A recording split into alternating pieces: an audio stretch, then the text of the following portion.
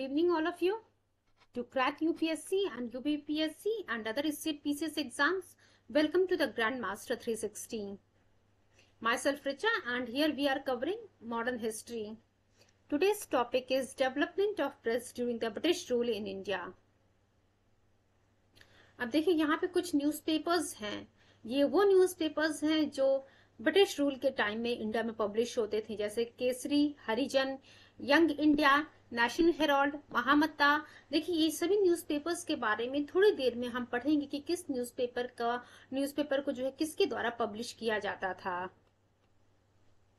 अब देखिए, जिस प्रकार से बच्चों, हम लोगों ने मॉडर्न एजुकेशन के बारे में पढ़ा था कि मॉडर्न एजुकेशन को भारत में इंट्रोड्यूस करने का मेन क्रेडिट जो है ब्रिटिशर्स को जाता है।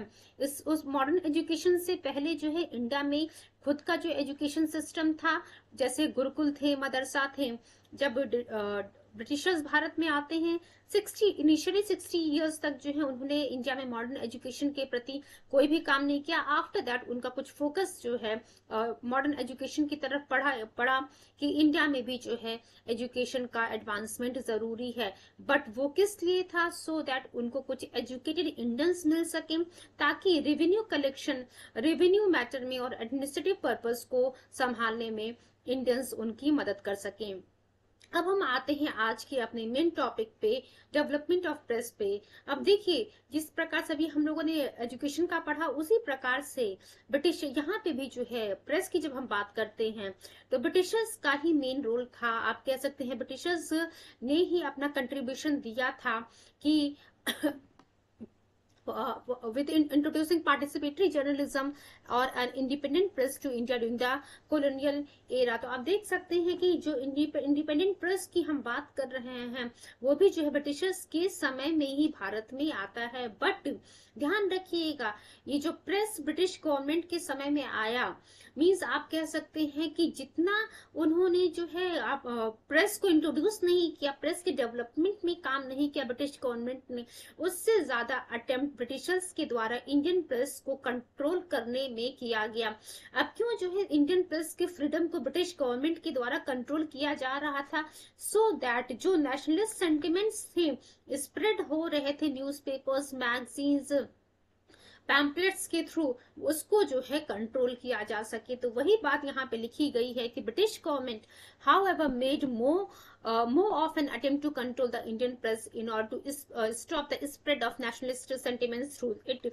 क्यों क्यों uh, अभी थोड़ी देर पहले ही मैंने आप लोग को बताया कि नेशनलिस्ट सेंटिमेंट्स को नेशनलिस्ट फीलिंग को कंट्रोल करने के लिए कि इन न्यूज़पेपर्स या फिर जो है प्रेस के थ्रू जो है ये स्प्रेड ना हो जाए इससे क्या होगा भारत में राष्ट्रीयता की भावना जो है बढ़ती जाएगी उसके बाद आपको देखने को मिलेगा कि ये जो न्यूज़पेपर ब्रिटिशर्स के द्वारा इंट्रोड्यूस किया गया था development of the news development of the press during the British rule जो ये चीज़ जो टॉपिक आज हम कवर कर रहे हैं, यहाँ पे आपको देखने को मिलेगा, आगे चल करके यही जो प्रेस है हमारे फ्रीडम स्ट्रगल में जो इंडियन लीडर्स थे, उनके लिए जो है एक एजेंशियल टूल या फिर इम्पोर्टेंट आप कह सकते हैं, एक एक हथियार के रूप में काम करता है। ये press against the British British rule या फिर अगेंस्ट द ब्रिटिशर्स क्योंकि इन्हीं प्रेस के माध्यम से मैगजीन्स पैम्फलेट्स इन्हीं के माध्यम से जो है, हमारे फ्रीडम फाइटर्स अपनी बातों को जो है इंडिया में जो है स्प्रेड कर रहे थे। जनता तक जो है बातों को पहुँचाया जा रहा था। It became one of the most important medium to spread the message of patriotism and enhance the struggle of independence आपको देखने को मिलेगा कि जो हमारी आज़ादी की लड़ाई चल रही थी, कहीं ना कहीं इस प्रेस के माध्यम से जो है, उसमें एक, उसको एक अलग मोड़ मिलता है। अब हम जो है, देखिए, ब्रिटिश ब्रिटिश रूल के टाइम में जो है, हमें कुछ एक्ट पढ़ने को मिलेगा देखिए जो प्रेस है, वर्नाकुलर प्रेस एक्ट या फिर जो है censorship of the press act 1799 then Met then Metcalfe act and the Indian press act 1910 जब अभी हम इनके बारे में पढ़ेंगे, उन पॉइंट्स को आपको याद रखना पड़ेगा, क्योंकि आपसे सीधा सीधा पूछ लेगा कि वर्नाकुलर प्रेस एक्ट कब आया था या फिर वर्नाकुलर प्रेस एक्ट में जो है किन बातों को मेंशन किया गया था? या फिर सेंसरशिप ऑफ़ प्रेस एक्ट 1799 क्या है? और मेटकाफ एक्ट क्या है? और इंडियन प्रेस एक्ट 1910 क्या है? इन सभी बातों को अभी थोड़ी देर में बच्चों हम कवर करेंगे। वही उसके बाद देखिए, ये तो देन पब्लिशर्स जो जो लोग, जो भी पब्लिश कर रहे थे उन न्यूज़पेपर्स को मैगजीन्स को, उनके ऊपर रेगुलेट करने, उनको कंट्रोल करने के लिए, उनकी फ्रीडम को कर्व करने के लिए बहुत सारे लाइसेंसिंग एक्ट्स निकाले गए थे। जैसे आप कह सकते हैं कि लाइसेंसिंग रेगुलेशन एक्ट 1823 आया था। देन लाइसेंसिंग एक्ट 1857 की हम बात करेंगे। आफ्टर दैट रजिस्ट्रेशन एक्ट 1867 की हम बात करेंगे। इन सभी नियम और कानूनों के थ्रू कहीं ना कहीं आपको देखने को मिलेगा कि ब्रिटिश गवर्नमेंट के द्वारा प्रेस की जो आज़ादी थी फ्रीडम ऑफ़ प्रेस जो था, उसको जो है कंट्रोल करने की जो है कोशिश की जा रही थी। जितना काम इन लोगों ने प्रेस के डेवलपमेंट में नहीं किया था, उससे ज़्यादा काम इन लोगों ने ब्रिटिशर्स के द्वारा प्रेस की आज़ादी आज़ादी को कंट्रोल करने में किया जा रहा था। रीजन क्या था? रीजन आप सभी लोगों को पता है कि किस क्यों कंट्रोल किया जाता है? सो दैट जो नेशनलिज्म की फीलिंग है इंडियन फ्रीडम फाइटर्स जो स्प्रेड करना चाहते हैं, उसको जो है कंट्रोल किया जा सके। अब देखिए, सबसे पहला टॉपिक टॉपिक है हमारा इसमें सेंसरशिप एक्ट 1799 ये जो है पहला एक्ट था, जो कि ब्रिटिश गवर्नमेंट के द्वारा पास किया गया था इंडियन प्रेस पे जो है रिस्ट्रिक्शंस लगाने के लिए। अब देखिए, आपसे क्वेश्चन पूछ लेगा which was the first act pass by the British government for imposing restrictions on the Indian press तो ये सेंसरशिप एक्ट सेवनटीन था। अब एक और चीज़ ध्यान रखिएगा सेंसरशिप एक्ट कब आया था? नाइनटीन में ये आया था। इस ईयर को आप लोग बच्चों ज़रूर याद रखिएगा 1799 अब दूसरा चीज़ ये कि ये सेंसरशिप एक्ट जो 1799 है, किसके द्वारा पास किया गया था? पास किया गया था वो रिचर्ड वेलेजली के द्वारा, जो कि गवर्नर जनरल ऑफ़ इंडिया थे उस समय, ठीक है? तो आप लोग को पता चल गया कि फ़र्स्ट एक्ट भारत में जो पास हुआ था freedom Indian sorry freedom of press को कंट्रोल करने के लिए, उसको रेस्ट्रिक्ट करने के लिए वो कौन सा था? सेंसरशिप एक्ट 1799 था, जिसको पास किया गया था वेलेजली के द्वारा। वेलेजली कौन था? उस समय का गवर्नर जनरल था। देखिए इतनी पीटी के लिए तो आपके पास सीधा पॉइंट है कि 1799 में सेंसरशिप एक्ट आया था, जो कि पास किया गया था रिचर्ड वेलेजली के द्वारा who was then governor general of India at that time ये पीटी के लिए है। जब आपसे पूछता है कि मेंस में लिखने के लिए पूछेगा कि सेंसरशिप एक्ट 1799 के बारे में आप लिखिए तो ये सारे पॉइंट्स आपको वहाँ पे मेंशन करने पड़ेंगे। एक रिक्वेस्ट है आप लोगों से कि प्लीज़ आप लोग एक पेपर और पेन लेकर के बैठिएगा सो दैट इम्पोर्टेंट पॉइंट्स को आप नोटेड डाउन कर सकें। अब देखिए बच्चों सेंसरशिप जो ये सेंसरशिप एक्ट सेवनटीन की हम बात कर रहे हैं, ये पास किया गया था बेसिकली ये तो हम लोगों ने देखा कि रिस्ट्रिक्शन के लिए पास किया गया था। अब ये जो censorship of the press act was pass क्यों पास किया गया था? पहला पॉइंट तो रेस्ट्रिक्शन के लिए, दूसरा पॉइंट ये है कि फ्रेंच पीपल को जो है, उन रेस्ट्रिक्ट करने के लिए इस सेंसरशिप एक्ट को पास किया गया था सो दैट ब्रिटिश गवर्नमेंट के खिलाफ फ्रांसीसियों के द्वारा कोई भी गलत न्यूज़ जो है स्प्रेड ना किया जाए। नेक्स्ट पॉइंट हम देखते हैं it also impose restriction on all the news papers and journals जो कि पब्लिश हो रहे थे बिना ब्रिटिश गवर्नमेंट की अप्रूवल के। तो तीन पॉइंट्स हम लोगों ने देख लिए। उम्मीद करते हैं तीनों पॉइंट्स आप लोगों को क्लियर हो गई होंगी। फ़र्स्ट वन इज़ दैट की पहला ये एक्ट था एक्ट था जिसके थ्रू इंडियन प्रेस पे जो है रेस्ट्रिक्शन लगाने की बात की जा रही थी। सेकेंड पॉइंट इज़ दिस कि इसको इसलिए भी पास किया गया था so that British government French people पे जो है रेस्ट्रिक्शन लगाया जा सके कि वो जो है ब्रिटिश गवर्नमेंट के खिलाफ गलत बातों को जनता में ना फैलाए। तीसरी पॉइंट ये कि इससे उन न्यूज़पेपर्स और जर्नल्स पे भी जो है रिस्ट्रिक्शन लगाने की कोशिश की जा रही थी, जो जो न्यूज़पेपर या फिर जो है जर्नल बिना ब्रिटिश गवर्नमेंट के अप्रूवल के जो है पब्लिश हो रही थी। अब नेक्स्ट पॉइंट हम देखते हैं बच्चों, जितने मैगजीन्स थे, जो जर्नल्स थे पैम्फलेट्स थे बुक्स थे न्यूज़पेपर्स थे, ये सभी के सभी जो है वह covered under this act after modification in 1807 से कि जो सेंसरशिप एक्ट 1799 की बात हम कर रहे हैं। यहाँ पे जो है कुछ मॉडिफिकेशन किया गया। उस मॉडिफिकेशन 1807 में कुछ मॉडिफिकेशन किया गया।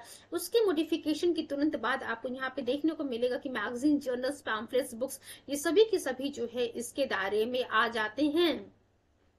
ये जो लिमिटेशन थी, जो रिस्ट्रिक्शंस लगाई गई थी, आप कह सकते हैं न्यूज़पेपर पे मैगजीन्स पे बुक्स पे, इन सभी को जो है थोड़ा सा लिबरल किया जाता है। फ्रांसिस हास्टिंग के द्वारा, जब फ्रांसिस हास्टिंग 1818 में जो है आप कह सकते हैं ऑक्युपाई ये आता है। Means Lord Hasting abolish the censorship act अब लिबरल करने का मतलब क्या है? लिबरल करने का मतलब यही है कि ये जो रिस्ट्रिक्शंस लगाए गए हैं, उन रिस्ट्रिक्शंस को जो है, और यू कैन से जो सेंसरशिप एक्ट था, उसको लॉर्ड हास्टिंग के द्वारा एबोलिश किया जाता है। अब देखिए, एक क्वेश्चन ये बन रहा है यहाँ पे कि जो सेंसरशिप एक्ट सेवनटीन था बच्चों, उसको वेलेजली के द्वारा लेकर के आया गया था। किसके द्वारा इस सेंसरशिप एक्ट सेवनटीन को एबोलिश किया गया था। तो लॉर्ड हास्टिंग के द्वारा बच्चों, इसको एबोलिश किया जाता है। पीटी में ये सीधा क्वेश्चन पूछा हुआ किसके द्वारा लेकर के आया गया था? वेलेजली के द्वारा। और किसके द्वारा उसको एबोलिश किया जाता है बच्चों? लॉर्ड हास्टिंग के द्वारा उसे एबोलिश किया जाता है। देन नेक्स्ट पॉइंट हम देखते हैं लाइसेंसिंग द लाइसेंसिंग रेगुलेशन 1823 अभी हम लोगों ने सेंसरशिप एक्ट कवर कर लिया। अब हम पढ़ेंगे लाइसेंसिंग रेगुलेशन एक्ट 1823 अब देखिए बच्चों, यहाँ से क्वेश्चन क्या पूछेगा कि पहला पॉइंट ये ध्यान रखिएगा 1823 में जो है लाइसेंसिंग लाइसेंसिंग रेगुलेशन पास होता है। अब इस एक्ट के माध्यम से अब, अब दूसरा पॉइंट ये कि ये एक्ट एक्चुअली जो है ये जो लाइसेंसिंग रेगुलेशन 1823 है किसके द्वारा पास किया जाता है? जॉन एडम के द्वारा। देखिए बच्चों जॉन एडम ने एक्चुअली क्या किया, जो लॉर्ड अभी हम लोगों ने पढ़ा था कि लॉर्ड हास्टिंग ने सेंसरशिप एक्ट में जो है कुछ, जो रेस्ट्रिक्शंस थी, उस रेस्ट्रिक्शंस को जो है वो हटा देता है एबोलिश कर देता है। बट जैसे ही जॉन एडम आता है, वो लाइसेंसिंग रेगुलेशन 1823 के माध्यम से लॉर्ड हास्टिंग के द्वारा जो लिबरल पॉलिसीज़ लाई गई थी, आप कह सकते सेंसरशिप एक्ट को जो एबोलिश किया गया था, उसकी पॉलिसी लॉर्ड हास्टिंग की पॉलिसीज़ को जो है इसने रिवर्स कर दिया। और उससे भी ज़्यादा मीन्स आप कह सकते जो सेंसरशिप एक्ट में बातें मेंशन थी रिस्ट्रिक्शन थी उससे भी ज़्यादा स्ट्रिक्ट पॉलिसी जॉन एडम के द्वारा एटीन में लेकर के आया जाता है।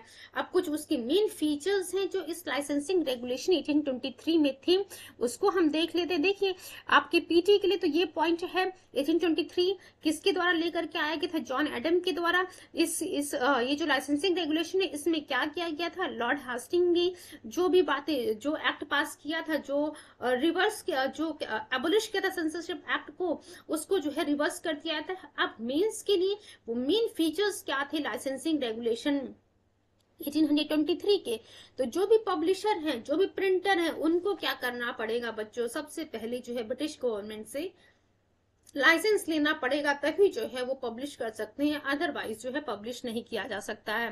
देन गवर्नमेंट को जो है, देखिए, पहला पॉइंट तो यही कि आपको ब्रिटिश गवर्नमेंट से परमिशन लेनी पड़ेगी। इफ़ अगर परमिशन नहीं लेते हैं तो आपको जो है पब्लिश करने की परमिशन यहाँ पे नहीं दी जाती है। सेकेंड पॉइंट इज़ दिस की गवर्नमेंट को जो है, यहाँ पे राइट दे दिया गया था कि गवर्नमेंट किसी भी टाइम जो है, किसी भी प्रिंटर या फिर पब्लिशर का लाइसेंस कैंसिल कर सकती है। एंड इन केस अगर लाइसेंस नहीं लिया किया गया है पब्लिशर या फिर प्रिंटर के द्वारा। और उसने जो है किसी बुक या पैम्फलेट या न्यूज़पेपर को पब्लिश कर दिया तो उस केस में क्या किया जाएगा? उसको डिफॉल्टर घोषित घोषित कर दिया जाएगा। उसके साथ साथ उसको जेल भी हो सकती, जेल भी जाना पड़ेगा। प्लस या फिर जो है उसको चार सौ रुपए का जो है फाइन देना पड़ेगा। जो भी अनलाइसेंस पब्लिकेशन होंगे मींस विदाउट गवर्नमेंट के परमिशन के जो पब्लिश किए जा रहे हैं तो वही लिखा हुआ है कि द डिफॉल्टर्स वर इम्प्रिजेंट और fined up to rupees four hundred for each unlicense publication तो आप लोग यहाँ पे देख सकते हैं कि पहला पॉइंट तो यही है कि जो भी पब्लिशर है, जो भी प्रिंटर है, उसको गवर्नमेंट से परमिशन लेनी पड़ेगी। दूसरा पॉइंट की गवर्नमेंट को जो है अधिकार है किसी भी लाइसेंस को किसी भी टाइम कैंसिल करने का। तीसरा पॉइंट ये है कि अगर किसी ने गवर्नमेंट के बिना परमिशन के किसी चीज़ को पब्लिश किया है तो उसको क्या डिफॉल्टर घोषित करके या तो जेल जाना पड़ सकता है या फिर जो चार सौ रुपए की जो है उसको फाइन देनी पड़ेगी। अब ये देखिए, इस रेगुलेशन के अंडर में राजा राम मोहन राय जी की जो बुक थी पब्लिकेशन थी मिराटुल अखबार, उस मिराटुल अखबार को जो है सीज कर दिया जाता है। नेक्स्ट पॉइंट हम देखते हैं बच्चों लाइसेंसिंग एक्ट 1857 की हम अब हम यहाँ पे बात करेंगे। हम देखिए 1857 रिवोल्ट ऑफ़ 1857 के बारे में हम लोगों ने पढ़ा था। उस रिवोल्ट ऑफ़ 1857 के बाद आपको देखने को मिलेगा कि लाइसेंसिंग एक्ट 1857 पास होता है। एक एक्ट पास किया जाता है अठारह की क्रांति के बाद, जिसे हम लाइसेंसिंग एक्ट कहते हैं। ये देखिए एक्ट जो है किसके द्वारा पास किया गया था? लॉर्ड कैनिंग के द्वारा पास किया गया था। ध्यान रखिएगा लॉर्ड कैनिंग के द्वारा लाइसेंसिंग एक्ट 1857 पास किया था। Who was the then governor general of India अब आपसे यहाँ पे सीधा क्वेश्चन पूछेगा कि जब लाइसेंसिंग एक्ट 1857 पास होता है तो उस समय जो है भारत का गवर्नर जनरल कौन रहता है? तो अभी हम लोगों ने यहाँ पे डिस्कस किया है। 1857 रिवोल्ट जब हम लोगों ने पढ़ा था बच्चों तो वहाँ भी जो है इसके बारे में हम लोगों ने चर्चा किया था।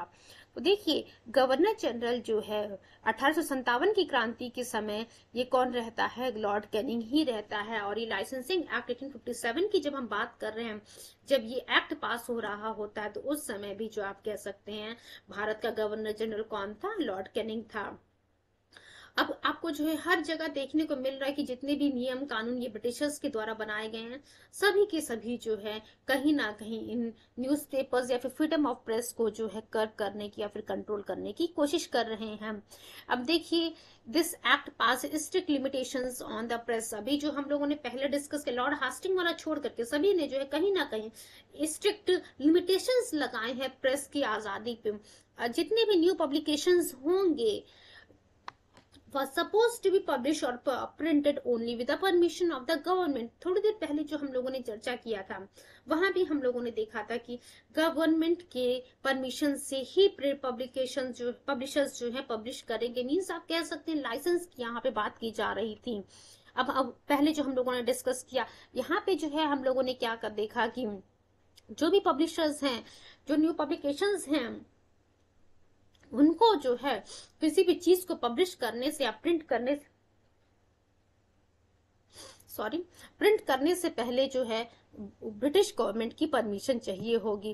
देन वर्नाकुलर प्रेस एक्ट 1878 ये जो डेट लिखा हुआ 1878 it is very very important for you exam चलिए अब हम देखते हैं वर्नाकुलर प्रेस एक्ट 1878 में क्या लिखा हुआ है। It was constituted for the better control of the vernacular press अब वर्नाकुलर का मतलब जान, क्या होता है? वर्नाकुलर का मतलब होता है लोकल भाषा लोकल लैंग्वेज की हम बात कर रहे हैं, जो लोकल लैंग्वेज में न्यूज़पेपर्स पब्लिश हो रहे थे। अब देखिए ब्रिटिशर्स को जो है अगर सपोज़ कीजिए बंगाल की हम बात कर रहे हैं तो बंगाली भाषा तो ब्रिटिशर्स को आती नहीं थी। दे, तो देखिए उनको जो है इंग्लिश ही आ रही थी। तो इस वजह से इस वर्नाकुलर प्रेस एक्ट 1878 को पास किया गया। सो so दैट जो वर्नाकुलर प्रेस है जो न्यूज़पेपर्स हैं उन चीज़ों को जो है कंट्रोल किया जा सके। एंड अगर कोई भी न्यूज़पेपर या फिर पब्लिशर जो है कोई सेडिशियस राइटिंग को पब्लिश कर रहा है तो उसको जो है पनिशमेंट उसको पनिश किया जाएगा और प्लस उसको जो है सप्रेस करने की कोशिश की जाएगी। तो किस लिए vernacular press seventy eight pass होता है बच्चों? For the better control of the vernacular press and effectively publish under repress seditious writing तो आप देख सकते हैं, अगर कुछ भी जो है ऐसी बात मेंशन की जा रही है वर्नाकुलर प्रेस के द्वारा न्यूज़पेपर के द्वारा, जो ब्रिटिश गवर्नमेंट के खिलाफ है तो उसको कंट्रोल करने के लिए इस वर्नाकुलर प्रेस एक्ट 1878 को लेकर के आया गया था ब्रिटिश गवर्नमेंट के द्वारा। अब यहाँ पे क्या किया गया? कुछ इंपॉर्टेंट बातें यहाँ मेंशन की गई थी। अब अब पीटी के लिए तो आप लिए सीधे 1878 और दूसरा पॉइंट ये कि वर्नाकुलर प्रेस को जो है कंट्रोल करने के लिए इस एक्ट को पास किया गया था। मेंस के लिए क्या लिखा लिखा जा गया? फिर अगर हम यूपीएससी की बात करेंगे तो जितनी यहाँ पे पॉइंट्स मैंने ऑलरेडी पहले भी बताए हुए हैं कि क्या क्या प्रोविज़न मेंशन थे किस एक्ट में, उन सभी प्रोविज़न या फिर पॉइंट से बच्चों क्वेश्चन एग्ज़ाम मीन्स आप कह सकते हैं ऑप्शन में एबीसीडी करके यूपीएससी में तो बेसिकली बना देता है। एबीसीडी करके ऑप्शन में आपको दे देगा। और मेन की डी वाला ऑप्शन या तो ऑल ऑफ़ द अबव दे दे या फिर कहेगा चार ऑप्शन में से आप चूज़ कीजिए कि कौन सा जो है इस नियम के तहत बात नहीं कही गई है या फिर कौन सी बात जो है इस कानून के तहत कही गई है। तो इस वर्नाकुलर प्रेस की जब हम बात कर रहे हैं बच्चों तो यहाँ पे क्या हुआ कि डिस्ट्रिक्ट मजिस्ट्रेट को इतना पावर दे दिया गया कि जो वर्नाकुलर न्यूज़पेपर की जो प्रिंटर थे, जो पब्लिशर्स थे, उनको बुलाया जाएगा डिस्ट्रिक्ट मजिस्ट्रेट के द्वारा और एक बॉन्ड साइन करवाई जाएगी, जिसमें ये रहेगा कि अगर कोई भी पब्लिशर अगर किसी भी पब्लिशर के द्वारा कोई ऐसी बात पब्लिश की जाती है जो कि ब्रिटिश गवर्नमेंट के खिलाफ हो या फिर आप कह सकती हैं रिलीजन के आधार पे कास्ट के आधार पे या फिर रेस के आधार पे जनता में जो है डिस्टर्बेंस क्रिएट करे डिसटिस्फेक्शन क्रिएट करे तो उस चीज़ को जो है इस एक्ट के तहत जो है, आप कह सकते हैं तुरंत का तुरंत जो है उसको सीज कर दिया जाएगा। तो वही यहाँ पे लिखा हुआ है कि bond with the government undertaking not to cause the disaffection against the government government के खिलाफ पहली चीज़ तो कोई बात वहाँ मेंशन नहीं होनी चाहिए। दूसरी चीज़ antipathy between the person two different religion caste and race suppose कीजिए कि अगर हम हिंदू, मुस्लिम की बात करते हैं तो कोई भी बात ऐसी नहीं इस इस वर्नकुलर न्यूज़पेपर के द्वारा पब्लिश होनी चाहिए, जिससे जो इन दो रिलीजन के लोगों के बीच में जो है लड़ाई हो या फिर जो है डिस्टर्ब आप कह सकते हैं डिस्प्यूट क्रिएट हो। जो प्रिंटर है, जो पब्लिशर है, उनको जो है, कहा गया कि इस वर्नाकुलर प्रेस एक्ट के द्वारा कि आपको जो है कुछ amount as a security deposit करना पड़ेगा। और इन एंड इन केस अगर आप जो है किसी ऑफेंस में पाए जाते हैं तो उस सिक्योरिटी को सीज कर लिया जाएगा। ध्यान रखिए, कहीं ना कहीं हर जगह से जो है British government freedom of press को कंट्रोल करने की कोशिश कर रही है। दूसरा चीज़ की डिस्ट्रिक्ट मजिस्ट्रेट की यहाँ पे हम बात कर रहे थे कि जो वर्नाकुलर प्रेस के पब्लिशर होंगे, उनसे उनको जो है वो बुला करके बॉन्ड साइन करवाएँगे। अब ये जो डिस्ट्रिक्ट मैजिस्ट्रेट है, जो भी एक्शन लेगा, वो एक्शन जो है फाइनल होगा। किसी भी कोर्ट ऑफ़ लॉ में जो है इसके लिए उस पब्लिशर के द्वारा अपील नहीं की जा सकती है। नेक्स्ट पॉइंट हम देखते हैं, बच्चों न्यूज़ पेपर इंसाइटमेंट और टू ऑफेंसेस एक्ट 1908 तो चलिए अब हम देखते हैं यहाँ पे क्या लिखा गया है। This act empower the magistrate to confiscate press property तो आप देख सकते हैं कि कहीं ना कहीं हर जगह ये कहा गया कि उसकी जो पब्लिकेशन है उसको रोक दी जाएगी। सिक्योरिटी डिपॉजिट करनी पड़ेगी उस सिक्योरिटी को जो है सीज कर लिया जाएगा। अगर भी, अगर कोई भी ऐसा मैटर पब्लिश होता है जो ब्रिटिश गवर्नमेंट के खिलाफ हो, उसी प्रकार से आपको यहाँ भी देखने को मिल रहा न्यूज़ पेपर एक्ट 1908 ये 1908 याद रखिएगा, इस न्यूज़ पेपर एक्ट 1908 को हम इंसाइटमेंट टू ऑफेंसेस भी कहते हैं। अब देखिए, इसके, इस एक्ट के माध्यम से क्या कहा जा रहा था या फिर फिर यहाँ पे क्या प्रोविजंस मेंशन किए गए थे?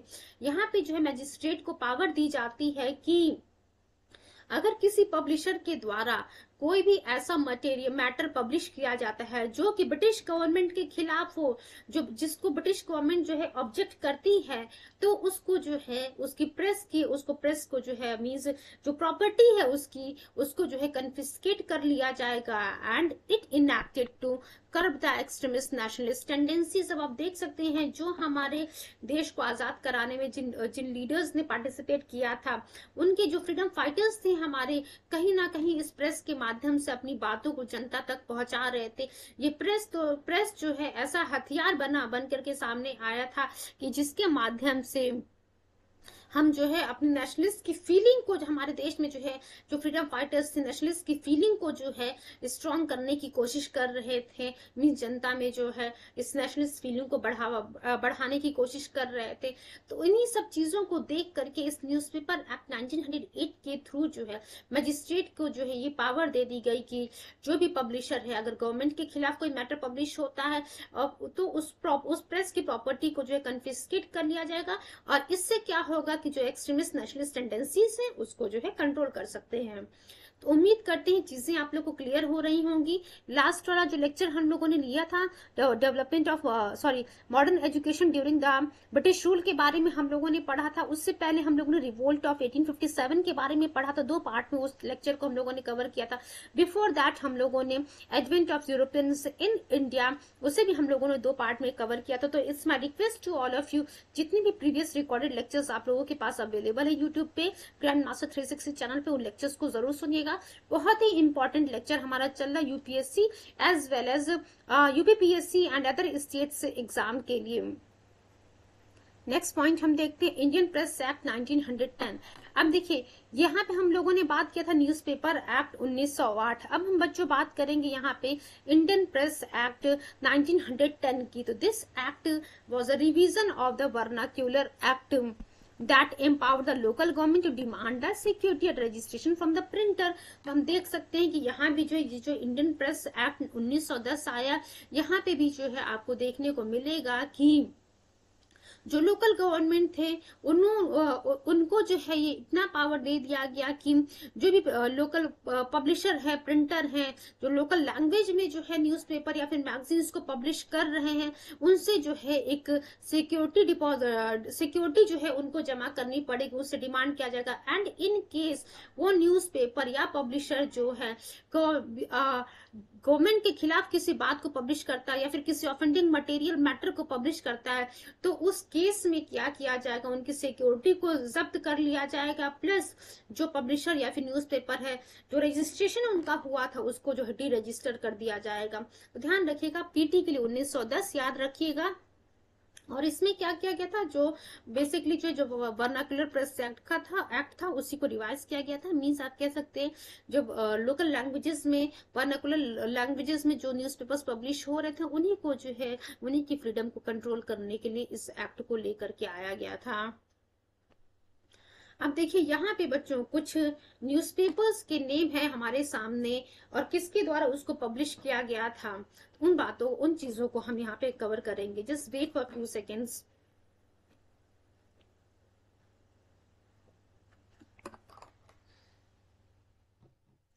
हम देखिए 1870 की हम बात करते हैं। डेट बेसिकली उतना नहीं इम्पोर्टेंट है। मेन यही है कि कौन सा न्यूज़पेपर या फिर कौन सा जो है बुक या मैगजीन किसके द्वारा पब्लिश किया गया था। तो देखिए, भारत श्रमजीवी की हम बात करते हैं अगर तो भारत श्रमजीवी बच्चों शशि पदा शशि पदा बैनर्जी के द्वारा पब्लिश किया गया था। देन सुलभ समाचार उमानाथ गुप्ता। बहु बहु विवाह की हम बात करेंगे, या आप कहेंगे ईश्वर चंद्र विद्यासागर के द्वारा इस चीज़ को पब्लिश इसको पब्लिश किया गया। देन तहजीब उल अखलक की हम बात करते हैं, सर सैयद अहमद खान के द्वारा। Then Indian Musalman William Wilson Hunter के द्वारा आफ्टर गुलामगिरी की हम बात करते हैं। ये देखिए, गुलामगिरी, जो बहुविवाह, तहजीब उल अखलक ये सभी जो मैगजीन्स या फिर जो न्यूज़पेपर्स आपके सामने जो भी चीज़ें हैं, ये सभी की सभी जो है बहुत ही इंपॉर्टेंट है। तो गुलामगिरी जो किताब है बुक है, उसको ज्योतिबा फूले के, ज्योतिराव फूले के द्वारा लेकर के आया गया था। वहीं बंग दर्शन की हम बात करते हैं। तो बंग दर्शन बच्चों बंकिम चंद चटर्जी के द्वारा पब्लिश किया गया था। तो किया गया था। अब हम भारत श्रमजीवी किसके द्वारा? शशि पदा बनर्जी के द्वारा। देन सुलभ समाचार की हम बात करते हैं उमानाथ गुप्ता के द्वारा। बहुविवाह ईश्वरचंद विद्यासागर के द्वारा। तहजीब उल अखलक सर सैयद अहमद खान के द्वारा। Indian Musalman William Wilson Hunter के द्वारा। वहीं गुलामगिरी ज्योति ज्योतिराव फूलो, फूले एंड बंग दर्शन की हम बात करते हैं बच्चों। तो बंकिम चंद्र चटर्जी के द्वारा। नेक्स्ट हम देखते हैं द स्टेट्समैन की हम बात करें तो इस द स्टेट्समैन किसके द्वारा पब्लिश किया गया था? ये इसके एडिटर कौन थे? रिबर्ट नाइट जो है द स्टेट्समैन स्टेट्समैन के एडिटर थे। ध्यान रखिए, ये जो बुक्स हमने देखने को मिल रहा है, जब मॉडर्न हिस्ट्री आप उठाएँगे, वहाँ पे जब लिटरेचर वाला टॉपिक कवर करेंगे तो ये सभी किताबों के नाम वहाँ पे आपको मेंशन मिलेंगे। सत्यार्थ प्रकाश की जब हम बात करते हैं, ये जो है बहुत ही इंपॉर्टेंट है, सत्यार्थ प्रकाश, स्वामी दयानंद सरस्वती के द्वारा पब्लिश किया गया था। सत्यार्थ प्रकाश देन, द हिंदू की हम बात करेंगे। ये भी इम्पोर्टेंट है। G Subramania Iyer and G Subramania Iyer Suresh नाम, नामवत जो है, इनके द्वारा पब्लिश किया जाता है द हिंदू। वही दैनिक बासुमती की हम बात करते हैं तो उपेंद्र नाथ मुखोपाध्याय के द्वारा। देन गौ कर, गौ करना निधि की हम बात करेंगे तो गौ करना निधि जो है दयानंद सरस्वती के द्वारा ये गौ करना निधि किस लिए पब्लिश किया था? गायों की रक्षा के लिए गौ रक्षा के लिए जो है इस गौ करना निधि को दयानंद सरस्वती के द्वारा पब्लिश किया गया था। वही जब हम केसरी की बात करेंगे तो केसरी जो है ध्यान रखिएगा बाल गंगाधर तिलक मेन जो है नाम केसरी और महारत्ता से बाल गंगाधर तिलक का जुड़ा हुआ है। तो कौन सा? Bal Gangadhar Tilak Gopal Ganesh Agarkar and V K Chiplunkar जो है, केसरी के पब्लिशर हैं। और महारत्ता की जब हम बात करते हैं, बच्चों तो महारत्ता में देखिए, Bal Gangadhar Tilak then Gopal Ganesh Agarkar and V K Chiplunkar जो है, इसके पब्लिशर रहे हैं। अब दूसरा चीज़ ये पूछता है कि केसरी जो है, किस भाषा में पब्लिश हुई न्यूज़पेपर थी? तो केसरी जो है, मराठी में पब्लिश हुई थी और महारत्ता की हम बात करते हैं। महारत्ता जो है, बच्चों इंग्लिश लैंग्वेज में पब्लिश हुई न्यूज़पेपर थी। अभी हम लोगों ने स्टेट्समैन वाला देख लिया। देन सत्यार्थ प्रकाश बहुत ही इंपॉर्टेंट मैंने आप लोग को पहले ही बता दिया स्वामी दयानंद सरस्वती के द्वारा। देन केसरी और महारत्ता। ये भी जो है बहुत ही इंपॉर्टेंट है। उसके बाद देखिए the Tribune UPSC UPPC UPSC में आया क्वेश्चन दयाल सिंह मजीठिया के द्वारा पब्लिश किया गया है। आनंद मठ की हम बात करते हैं बच्चों। तो आनंद मठ से पहले दो क्वेश्चन यहाँ पे बना हुआ है कि किसके द्वारा पब्लिश किया गया है? तो बंकिम चंद्र चटर्जी जी के द्वारा इस बुक को पब्लिश किया गया है। उसके बाद किस विद्रोह पे जो है ये आधारित तो आधारित थी तो आनंद मठ जो है सन्यासी विद्रोह पे, यानी कि सन्यासी रिवेलियन से जो है इंस्पायर्ड थी। अब नेक्स्ट हम देखते हैं, बच्चों, तलवार की हम बात करते तो तलवार देखिए वीरेंद्र नाथ वीरेंद्र नाथ चट्टोपाध्याय के द्वारा पब्लिश की गई थी। देन कॉमरेड की हम बात करते हैं, मौलाना मोहम्मद अली, इससे भी जो है एग्ज़ाम में क्वेश्चन पूछा हुआ, तलवार से भी पूछा हुआ है। कॉमरेड वाला जो है, मौलाना मोहम्मद अली। देन हितवाद की हम बात करते हैं गोपाल कृष्ण गोखले। केरला, कॉमेडी जो है सीवी कुन, कुन्ही रमन। देन अल अल बलाग देखिए अल बलाल और अल, ये बाग बलाग नहीं, अल बिलाल है। अल बलाल एंड अल हिलाल जो है, अबुल कलाम आज़ाद के द्वारा पब्लिश किया गया था। ध्यान रखिएगा, अल बिलाल जो है, अल बलाल जो है, अबुल कलाम आज़ाद के द्वारा ये उर्दू वीकली न्यूज़पेपर था। अल बलाल और अल हिलाल किसके द्वारा पब्लिश किया गया था? अबुल कलाम आज़ाद के द्वारा। दिन प्रताप की हम बात करते हैं, कनिष्ठ शंकर विद्यार्थी। वही हिंदुस्तान गदर की हम बात करते हैं, Yugantar Ashram Ghadar party. New India, Annie Besant then Commonweal Besant तो ध्यान रखिए आप लोग Comrade Maulana Mohammad Ali Hitavada Gopal Krishna Gokhale Kerala Kaumudi C V Kunhi Raman and Al Balagh और अल हिलाल जो है अबुल कलाम आज़ाद प्रताप की हम बात करते हैं गणेश शंकर विद्यार्थी हिंदुस्तान गदर युगांतर आश्रम अब आप देख सकते हैं कि हिंदुस्तान गदर जो है, गदर पार्टी के द्वारा पब्लिश किया गया था। वही न्यू इंडिया एनी बेसन ध्यान रखिएगा न्यू इंडिया और कॉमनवेल्थ सीधा सीधा क्वेश्चन एक्चुअली यहाँ पूछता है। न्यू इंडिया और कॉमनवेल्थ किसके द्वारा पब्लिश किया गया बच्चों? New India and Commonweal Annie Besant के द्वारा पब्लिश किया गया है। अब ये ये याद रखिएगा, आप लोग न्यू इंडिया कॉमनवेल्थ बहुत इंपॉर्टेंट है, बहुत बार पीटी में क्वेश्चन पूछा हुआ है। नेक्स्ट हम देखते हैं यहाँ पे इंडिपेंडेंट की हम बात करते हैं बच्चों तो इंडिपेंडेंट किसके द्वारा पब्लिश किया गया है? चलिए हम देखते हैं Independent was published by Motilal Nehru ji. Then Young India की हम बात करते हैं तो यंग इंडिया किसके द्वारा पब्लिश किया गया था? एम के गांधी अब यहाँ पे हम लोगों ने न्यू इंडिया की बात की थी New India Annie Besant ji के द्वारा और यंग इंडिया की हम बात करेंगे तो मोहनदास करमचंद गांधी जी के द्वारा पब्लिश की जाती है। वही तरुण भारत की हम बात करते हैं तो बाबूराव ठाकुर के द्वारा। समाज की हम बात करते तो गोप बंधु दास के द्वारा पब्लिश की जाती है। मूक नायक बहुत ही इंपॉर्टेंट है। देखिए, यहाँ पे जो है स्टार्ट अभी जो हम लोगों ने डिस्कस किया है, यहाँ पे इंडिपेंडेंट यंग इंडिया ये मूक नायक, ये तीनों बहुत ही इंपॉर्टेंट है आपके एग्ज़ाम पॉइंट ऑफ़ व्यू से। एंड ये जो है आपका बंदी जीवन और ये वेन गार्ड इन इन पाँचों से जो है क्वेश्चन बहुत बार रिपीट हुआ। पीटी में आप एक बार भी प्रीवियस क्वेश्चन उठा के देखिएगा लिटरेचर वाला। वहाँ पे जो है इन सभी बुक्स से या फिर न्यूज़पेपर से जो है आपको क्वेश्चंस आए हुए देखने को मिलेंगे। देन मूक नायक की हम बात कर रहे हैं बी आर अंबेडकर जी के द्वारा। Freedom press of India Swaminathan Sadanand. वहीं जब हम बात करेंगे सौराष्ट्र वीकली की तो देखिए जबर चंद मेघानी के द्वारा जो है ये सौराष्ट्र वीकली पब्लिश किया जाता है। वहीं इंडियन सोशलिस्ट की हम बात करते हैं तो एस ए डांगे के द्वारा इंडियन सोशलिस्ट को पब्लिश किया जा रहा है। वहीं वेनगार्ड की हम बात करेंगे, किसके द्वारा? एमन राय के द्वारा। बंदी जीवन सचिंद्र नाथ सन्याल के द्वारा। आनंद बाज़ार पत्रिका सुरेश चंद्र प्रफुल्ल सरकार के द्वारा जो है पब्लिश किया जा रहा है। ध्यान रखिएगा, आनंद बाज़ार पत्रिका की हम बात कर रहे हैं बच्चों। सुरेश मजुमदार प्रफुल्ल सरकार के द्वारा ये जो है पब्लिश किया जा रहा था। तो एक बार हम रिकॉल कर लेते हैं जो एग्ज़ाम के लिए इम्पोर्टेंट है Independent Motilal Nehru ji then Young India Mahatma Gandhi ji, Mook Nayak Bhimrao Bhimrao Ambedkar ji then Indian Socialist S A Dange Vanguard M N Roy and Bandi Jivan Sachindranath Sanyal.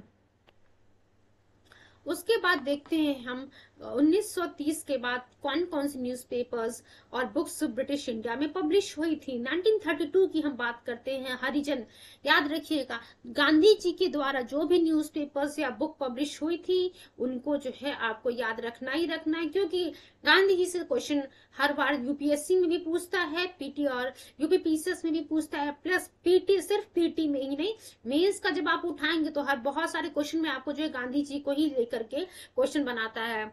तो हरिजन की हम बात करते हैं तो मोहनदास करमचंद गांधी जी के द्वारा ये पब्लिश की जाती थी इंडियन स्ट्रगल ये भी बहुत ही इंपॉर्टेंट है आपके एग्ज़ाम के लिए। अभी मैं बता दूँगी यहाँ पे कि कौन कौन सी जो है, यहाँ पे बुक्स या फिर न्यूज़ पेपर्स इंपॉर्टेंट है इंडियन स्ट्रगल की हम बात करते हैं। सुभाष चंद्र बोस जी के द्वारा देन फ्री हिंदुस्तान तारक नाथ दास के द्वारा हिंदुस्तान एम एम मालविया के द्वारा देन हम लाइफ डिवाइन की बात कर रहे हैं बच्चों।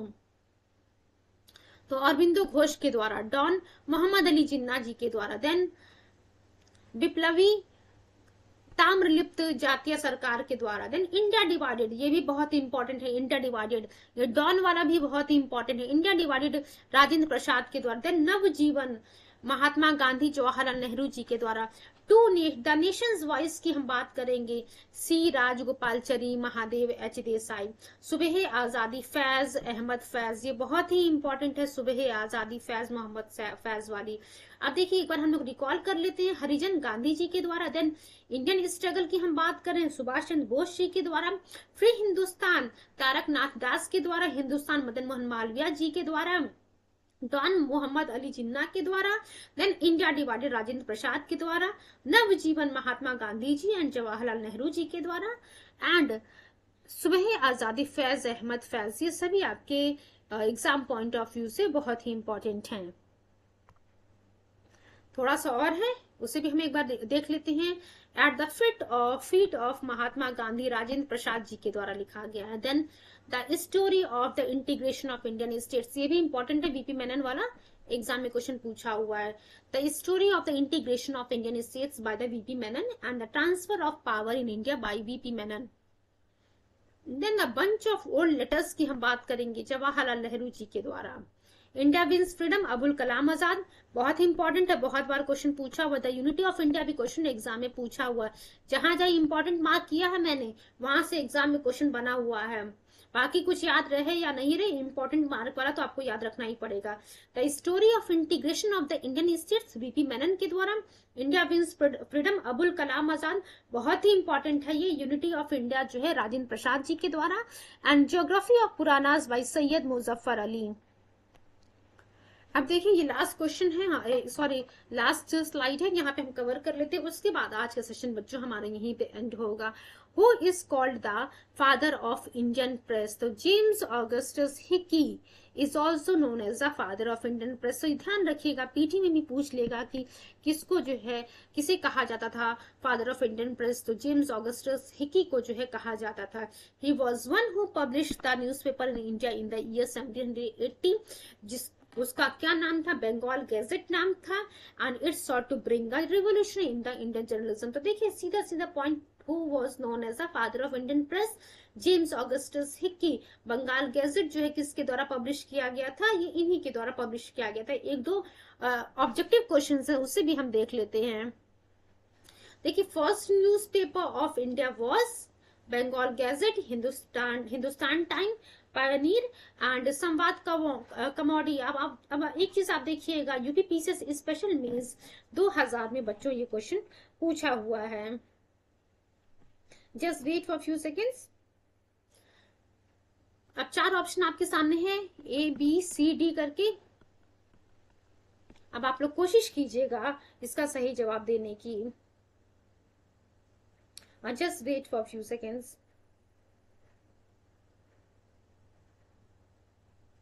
आपको जो है थर्टी सेकेंड्स का टाइम दिया जा रहा है। Please try to give the positive response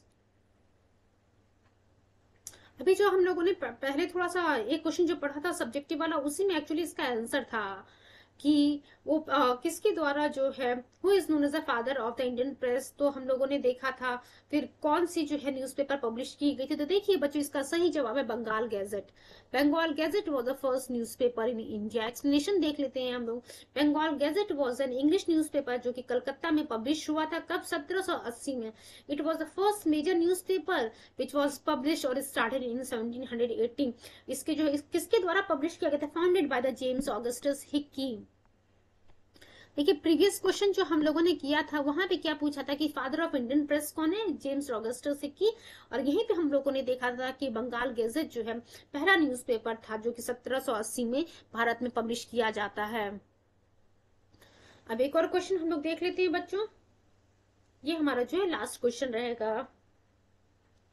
question है हमारा कि who among the following repeal the vernacular press act eighteen seventy तो देखिए, जो वर्नाकुलर प्रेस एक्ट था, उसको किसके द्वारा रिपील किया जाता है, खत्म किया जाता है? ए लॉर्ड रिपन के द्वारा बी लॉर्ड लिटन के द्वारा सी लॉर्ड कर्जन के द्वारा एंड डी लॉर्ड मिंटो के द्वारा। यूपीएससी 2005 एंड बीपीएससी 1994 में ये क्वेश्चन पूछा हुआ है। चलिए आपको 30 सेकंड का अगेन मैं समय दे रही हूँ। Please try to give the positive response एक पेन और पेंसिल ज़रूर लेकर के बैठा पेन और नोटबुक ज़रूर लेकर के आप लोग बैठा कीजिए।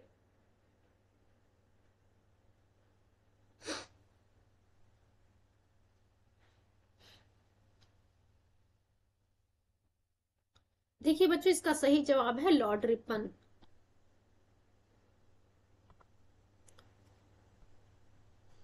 Act was repeal by the Lord Ripon in 1882 आज का सेशन बच्चों हमारा यहीं पे एंड हो रहा है. Thank you so much please like share and subscribe that channel grand master 360 thank you so much